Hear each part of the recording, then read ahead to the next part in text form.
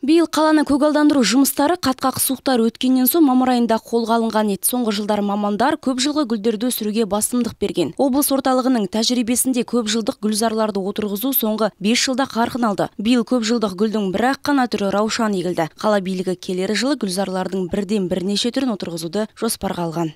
Павлодар қаласы бойынша жасыл өсінділер қорына күтім жасау аясында көп жылдық гүлдер отырғызу жұмысы қарастырылған.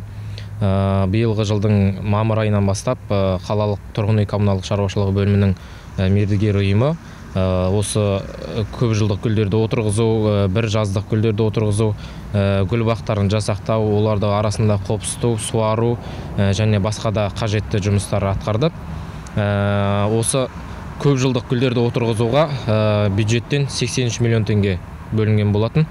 Бұл соманың ішіне осы гүлдің көп жылдық гүлдің өзінің құны ә, оның тыңайтқыштары және топырағының бағасы кіреді.